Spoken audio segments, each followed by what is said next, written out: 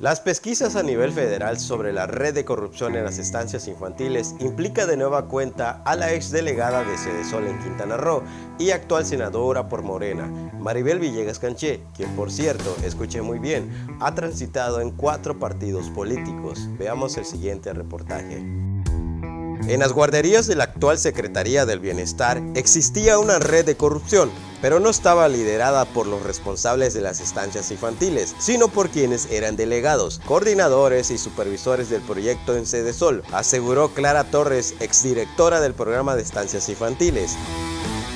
En esta red se ubica el estado de Quintana Roo, donde se han abierto indagatorias en contra de Maribel Villegas Canché, señalada por participar en las operaciones de la estafa maestra y ahora investigada por el desvío de recursos del programa de estancias infantiles cuando fue delegada de Sol en Quintana Roo.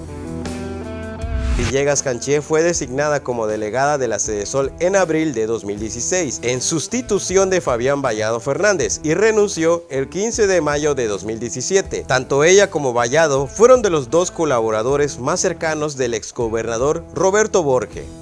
Según investigaciones de la llamada estafa maestra, desde la sede Sol Villegas Canché desvió recursos para pagar a todo un equipo de operadores políticos que promovieron campañas como la del ex candidato del PRI, Partido Verde Ecologista de México, la gubernatura y actualmente preso por peculado.